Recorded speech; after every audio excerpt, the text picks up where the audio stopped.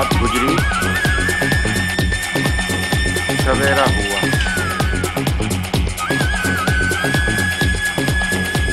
डर तो कही है। पसंद नहीं। भारत का भविष्य ठंडी रात में कुछ ढूंढते हैं।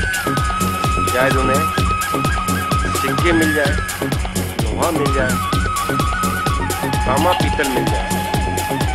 इसे वो बेचकर एक दिन के लिए तो अपना गुजारा करते हैं